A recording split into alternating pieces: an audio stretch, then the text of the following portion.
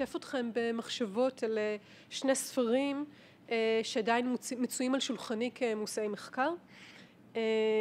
שני הספרים הם בת ישראל נודדת מאת שלומית פרידה פלאום, השני Brief Chronicles of the Time Personal Recollections of My Stay in Bengal מאת אלכס אהרונסון. אז נתחיל. ספר המסע שמכונן את המסעות של ישראלים או יהודים להודו מזוהה עם עזריאל קרליבך, הודו יומן דרכים, ספר שיצא ב-1956 על ידי עורך מעריב אז שהיה כבר מנוח והפך לרב מכר ולספר מכונן בספרות המסע הישראלית להודו. אני רוצה להתייחס לשני הספרים האחרים כאן, שני ספרים שמתארים מסעות מוקדמים הרבה יותר ושולי, ושוליים לגמרי בתודעה הנוסעת להודו. שניהם בקונטקסט שקשור לסיפור היהודי באבותות ומשמשים נקודות ראשית רבות משמעות הגם עם הרבה יותר עלומות בקשר של יהודים עם הודו ותרבותה. אנחנו נטעם מהם לצערי פה מאוד בצמצום כי למעשה לכל אחד מהספרים האלה ניתן היה להקדיש אה, ברוגע הרצאה של שעה וחצי לפחות. אז אה, אלה שני הטקסטים אה, שאנחנו מדברים עליהם. אחד בעצם אפשר לראות יצא מוקדם בהם יצא ב-1935 בת ישראל נודדת של שלומית פרידה פלאום היא יצאה בעברית בירושלים. השני נכתב מרחק כמעט שישים שנה ממנו אך מתייחס לביקור שנעשה רק כחמש עשרה שנה לאחר מכן באותו המקום. אמ, בתרגום, בתרגום ככה קליל לעברית אפשר לקרוא לו כרוניקות חטופות של הזמן זיכרונות אישיים משהותי בבנגל. הכותב אלכס אהרונסון לימים עבד כמרצה כאן באוניברסיטת חיפה אה, בחוג, בחוג לספרות אנגלית וקרוב לוודאי שהוא הורצה עשרים שלושים שנה אחורה אולי אפילו כאן בעולם הזה ממש. בהרצאתי אסקור הגם בקצרה את סיפורי המסע לנווה השלום שנטי ניקטן שנטי ניקטן סליחה מאת שני הנושאים אהרונסון ופלאום ואחשוף את האופנים בהם מגדר מיתולוגיה פוליטיקה השפיעו על עיצוב סיפוריהם אציג את סוגי הדיאלוג שיבנה כל אחד מהם בספרו עם המרחב ההודי ועם יושביו וכן את הזהויות שגיבשו כתוצר מתמשך של המסע. נתחיל בהיכרות עם בת ישראל נודדת הספר הזה שמצוי בידיי אתם יכולים לראות ככה את המהדורה המיושנת היטב הוא ספר יוצא דופן כפול בהיותו אוטוביוגרפיה נשית וגם סיפור מסע של אישה. כלומר הוא קורא תיגר על המרחב המיועד לנשים פעמיים גם בתנועה במרחב גם בתנועת העט והדפוס. פלאום ילידת קובנה שבליטה היגרה לארץ ב-1911 בהיותה בת שמונה עשרה. היא הייתה גננת עברייה ואשת חינוך שגם לימדה פה בסמינרים לגננות בירושלים כשכתבה מאמרים ומסות טיילת מהוללת אשת העולם הגדול במסותיה הרבים לחו"ל באירופה ארצות ערב ארצות הברית ועוד. המסעות שלה היו עצמאיים. אישה לבדה. מסע לשם מסע להנאה והרחבת אופקיה. היא כללה בהם עבודה כגננת ולעיתים מזכירה, כתיבה של מאמרים, רשימות ומסות ששלחה לעיתונים ולביטאונים עבריים של אותה התקופה, על המשמר הד הגן שהיה כבר אז. היא נפגשה במסותיה עם אישים גדולי עולם או מעצבי עולם, ביניהם גנדי, הלן קלר, שירלי טמפל, המלך פייסל ועוד ועוד. את הזוהר שבנתה לעצמה בחו"ל, שם השתמשה בזהותה העברייה כנציגת ישראל המתעוררת, המתחדשת, הצליחה אך ורק באופן חלקי לנכס לעצמה בארץ בהופכה למעין שגרירה הודית. מנסיעה לנסיעה בכל פעם שחזרה לכאן היא נעשתה זרה יותר ויותר והתקשתה להיטמע במערכת החינוך ובמרקם החברתי כאן. נורית גוברין תיארה את הפער בין האופן בו נתפסה בחו"ל לבין האופן בו נתפסה בארץ בספר שכתבה עליה נוסעת אלמונית ספר שהוציא אותה מאלמוניותה במידה מסוימת אולי בזירה האקדמית כמלכה בחוץ וקבצנית בפנים לקראת סוף ימיה חייתה בעליבות רבה עוני כדמות שולית ותימונית היותה רווקה שלא הקימה משפחה כמובן שיחק תפקיד נכבד בעיצוב מצבה החברתי בקונטקסט המסורתי יותר של החברה אז. הספר שכתבה מכיל רשמים שלה ממדינות רבות ומתבלט במבט פמיניסטי פיקח ומודע שמקדים את זמנה בהרבה. המסע להודו שנערך בין השנים 1922 עד 1924 התרכז בחוויותיה כמתלמדת בווישווה בהרתי האוניברסיטה הבינלאומית מיסודו של טגור וכמורה באשרם בית הספר בחיק הטבע של טגור שניהם בשנטי ניקטן. אז מהו שנטי ניקטן? בפירוש השם מושב השלום או אוהל השלום ועליי מועדף תרגומה של פלאום נווה השלום. זהו מרכז חינוכי בית ספר שהקים טגור טגור גדול משוררי הודו וחתן פרס הנובל לספרות ב-1913 הקים את המרכז הזה וב-1921 הרחיב אותו לאוניברסיטה כשהמוקד שלו היה בין היתר טיפוח אומנויות אחד הרעיונות המרכזיים שהנחו את המקום היה למידה בחיק הטבע לדברי טגור בהשראת המסורת ההודית של חכמיה של הודו שנהגו להתבודד ביער. המסע להודו לשהות במחיצתו של טגור בשנטי ניקטן תופס את המקום המרכזי בספרה של פלאם ובכלל בחייה כחוויה מעצבת ומכוננת בזהותה. ההקדשה בראש הספר שבאותה נשימה מייחדת את אביה ואת טגור כמורי ורבי כפי שהיא מכנה אותו ליד, לצד הספר הנוסף שכתבה והקדישה לטגור, טגור המשורר, הצייר, הנוסע, יש שם רצף תארים, שם מאוד ארוך.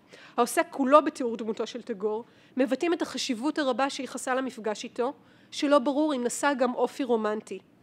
מה שברור הייתה ביניהם התכתבות ענפה ואף אינטימית לאורך שנים. למעשה הגיע להודו בעקבות היכרות איתו בארצות הברית, בניו יורק, ונסע במיוחד לפגוש אותו בברלין גם ב-1930 אז גם שימשה כמזכירתו ומאוחר יותר גם נמלטה משם בעקבות עלייתו של היטלר. שירה של פלאום, אימא הודו, הפותח את הפרק העוסק בהודו בספרה, מלמד על היחס של פלאום למרחב ההודי. אם בוא הלל משחיר הכחול, נמחו מלב יתמות ושכול, היו ברכייך לארסי, תוכה נרגעתי ואישן, ושיר ארסך לליבי רן, כי בחק ציון ארצי. השיר הזה שאנחנו יכולים לראות בו את הארכיטיפ של אימא אדמה עולה בו בתיאורי חי, צומח, אה, צבעי טבע בדמות אישה ואדמה השנים חשוב לזכור שנים שגם בהודו כמו גם בארץ מתרחב ומפעפע הדימוי הלאומי הקושר בין דמות האם לארץ הלאום כן שיר ארסך לליבי, לליבי רן כבחק ציון ארצי כותבת פלאום וההיקש שלה הוא אם כן הקבלה גמורה אפילו החלפה בין ציון ישראל לבין הודו. בעמוד הצמוד לשיר אנחנו רואים את תמונתו של טגור על זקנו הארוך הלבן אוחז עט וכותב הקדשה ממנו לפלאום מתחת. וכך מתארת פלאום את טגור במפגשה הראשון איתו. הרושם היה כביר. דומה היה עליי הנה כבר ראיתי את האנוש הזה הניצב כאן ומדבר באיזה מקום. או אולי הוא מופיע ועולה אליי רק מתוך איזה זיכרון שבילדות. אולי ראיתי בדמות, בדמות דיוקן כזו בילדותי את גיבורי אותן האגדות שסופר לי אז אליהם, או אולי את אחד הנביאים שלנו, הנביאים העבריים מירושלים או בענתות ראיתי כך. בעמוד הבא שם הפרק שהיא נותנת הוא חכם מארץ המזרח ואנחנו יכולים לראות פה שני ארכיטיפים בשוט אחד ארכיטיפ האם הגדולה ארכיטיפ הזקן החכם שני מתועלים כפי שנראה מיד לתפיסה של התעוררות המזרח שני לבבות הומים בתקווה הזו, לב יהודי לצד לב הודי, שניהם המזרח המתעורר והמתחדש עם מורשתו הרוחנית וקישורו לטבע כבני מזרח אחד. וכך היא כותבת: רק ימים מספר ואני כבר מרגישה את עצמי כאן בין ההודים וההודיות כאילו שנים רבות חייתי ביניהם. יש אני מסיקה לי מזה כי אמנם גם בנו בנות ישראל חי עוד משהו מאותה האסייתיות ואומנם זוהי מילה חביבה שאני משננת לי עתה אסייתית ונפשי חוגגת עליי משום כך. על אף זה שאני זוכרת כמה אנחנו שם בארץ ישראל שלנו משתדלים לטשטש כל השארית מאותה אסייתיות שבקרבנו והננו אירופאים ושואפים רק לאירופאיות. אוקיי. ההתקשרות לטגור ולתורתו יש לה חלק בתחושת הבית והשייכות של פלאום בין אם אהבה רומנטית יש לה יד בדבר ובין אם לאו. אבל לא רק טגור וגם לא רק שנטי ניקטן תחת מבטה המשתאה המתלהב של פלאום, היא נפגשת עם נשים בהודו, דעתניות, מנהיגות, וכותבת על כך בזווית הפמיניסטית האופיינית לה. בה היא סוקרת את פועלן בתרבות ובפוליטיקה של התנועה הלאומית. היא פוגשת את גנדי, אותו היא מתארת כמשיח של הודו, כחלק מתהליך של ייהוד המרחב שהיא עושה. כן? כלומר הלבשת המרחב בעולם דימויים יהודי כדי שתוכל לקרב אותו אה, לנמענים שלה בארץ. היא מתארחת אצל משפחה יהודית בקוצ'ין ומתארת את חיי היהודים בהודו. מבטה רחב והספר שהיא כותבת מורכב מתיאורי שיחות, פגישות, מכתבים כחלק ממהלך הכתיבה שלה כעיתונאית. כי כפי שציינתי חלק מהרשימות שנכללו בספר נתפרסמו בעיתונאים ובביטונים של התקופה. ואנחנו נעבור מכאן לספר השני, דק הרבה יותר, ספר שיצא בקלקוטה בהוצאה מיוחדת ב-1990, שוב על אף שמדובר באלכס אה, אהרונסון אה, בעצם אה, חי כאן על הר הכרמל כפי שהוא כותב במבוא לספרו, הוא בחר להוציא את הספר בקלקוטה. הספר הזה, Brief Chronicles of the Time, Personal Recollections of my stay in Bengal, יצא ב-1990 אבל מתאר מסע גם כן לשנטי ניקטן שעשה אלכס אהרונסון אז צעיר יהודי, יליד ברסלב, אז גרמניה, היום פולין, שנאלץ לעזוב את גרמניה בשל עליית הנאצים וחיפש אכסניה אקדמית לאחר שסיים את תואר הדוקטור שלו בקיימברידג'. ללא ספק נווה השלום של טגור אי שם בבנגל היה מקום מוביל ביותר מבחינה אקדמית אז, מקום מאוד נחשף להמשך בקריירה אקדמית מזהירה עם משכורת נהדרת, אני אומרת את זה כמובן כבדיחה. אהרונסון רומז שהמקום קסם לו בעקבות תיאורים ששמע עליו שציירו לו את שנטיני קטן כאוטופיה, מקום טהור, שלו ותם, מגדל שן אלטרנטיבי מהמערב המתקער. ואנחנו רואים פה תמונה ככה שמסר לי בין, בין, בין האחיין של אהרונסון אה, מתוך אלבום התמונות כנראה זה הוא עומד כאן ומלמד בשנטיני קטן. אהרונסון שהה בהודו תשע שנים לאורך כל מלחמת העולם השנייה כשהיגר לארץ בסיום שהותו בהודו עבד כמורה לאנגלית בתיכון בתל אביב ולימד בסופו של דבר ממש כאן בכרמל כפרופסור בחוג לספרות אנגלית. אז הסיבה של אהרונסון למסע להודו פחות או יותר ברורה בריחה, מפלט וכפי שעוד נראה אינקוביזציה במגדל השן ההודי. הודו כאוטופיה מקווה הפכה לו למחוז חפץ מועדף. איך אהרונסון מתייחס למרחב ההודי? לא נראה כאן תמטיקה רומנטיקנית כזו של פלאום. הודו לא אותה דמות אישה. אהרונסון גם לא מגייס את עצמו כשגרירנו בהודו שידווח או ילקט באופן עיתונאי. הוא כותב כדי לספר את סיפורו האישי כרומן ריאליסטי אוטוביוגרפי לכל דבר. הוא מוכן להניח תחת מבטו מוצגים צורמים. כפי שנראה מה שלא רק בהודו, גם בכל הספר של פלאום בכללותו, על אף שחלקו, כפי שהזכרתי למשל, היא הייתה בברלין בזמן עליית הנאצים, עומד בצל מלחמת העולם השנייה, הוציא אותו ב-1935, אצל פלאום אנחנו נראה כמעט אה, אך ורק אור שפוך, באמת איזושהי הוויה מאוד אה, חיובית, אני לא יודעת, אולי היום היו קוראים לזה מחשבה חיובית, אפשר לקוות שלא. השוני בתיאורים ובאופיים נובעים מהנמענים השונים של כל אחד מהם ומהתפקיד שמשמש עבורם הספר. פלאום פונה בעברית לקהל יעד שהוא העם היושב בציון, באופן מובהק. אהרונסון כחלק ממהלך מקיף של כתיבה אוטוביוגרפית שהוציא לפועל לקראת סוף ימיו מוציא טקסט כתוב אנגלית שהנמען שלו רחב, מודרני או אפילו פוסט מודרני. בעוד שפלאו משתמשת בכתבי האלה גם כחלק מפרנסתה ויתרה מכך לתת משמעות לחייה כאישה רווקה חסרת משפחה נמצאת בתנועה במסע וידידיה קצרי המועד אה, מפוזרים ברחבי העולם ספרה סייע לה לבסס את זהותה כאישה הנוסעת, העברייה, המחנכת, שוחרת הודו הייחודית. אהרונסון קרוב לוודאי לא נזקק לאלה. זהותו המקצועית כמורה, אקדמאי ופרופסור הוא ששב ובנתה בפועלו הגברי המקובל הנורמטיבי של מורצה, מורה, חוקר ומרצה. הספר שלו הוא טקסט ספרותי הבנוי באופן ברור כרומן אוטוביוגרפי בעל חוט מקשר מרכזי וברור שהוא כגיבור ספרותי עומד במרכזו. אני קוראת את סיפורו של אהרונסון כסיפור של התמודדות עם שבר מלחמת העולם השנייה מתוך האינקוביזציה, ההסתגרות בנווה השלום. דרך מראה מקום תרבותיים של תרבות המערב משקיף וממסגר אהרונסון את סיפורו זאת לצד התעכבויות והסברים שונים על התרבות ההודית שהוא מביא באופן אמפתי אם זה על האכילה אם זה על אה, התייחסות למוות על המוזיקה ההודית בהדרגה מתאר סיפורו איך מחלחלת מלחמת העולם השנייה עקובת הדם גם אל תוך נווה השלום. ראשית בביקור מטיל אימה, המפר את שלוות הספרייה של המרשל איש הדמים, צ'אי קיישק, המשך בתמונות הזוועה שמטילים היפנים בן הנקינג. וכך אהרונסון כותב בספרו: התמונות של ערימות הגופות המרכיבות שראיתי על מסך הקולנוע בקלקוטה מוצאן לא מסין אלא מאירופה רק תוויהם של פני המתים השתנו כל היתר זהה העיניים הנבעטות פקוחות האיברים הקרועים העצמות הערומות מבשר מזדקרות מתוך אדמה ספוגה בדם ואנחנו רואים פה בעצם מגע חשוף גם בשואה בהמשך אהרונסון מתאר עם תחילת המלחמה את כליאתו האבסורדית במחנה מעצר על ידי הבריטים כאדם בעל אזרחות גרמנית.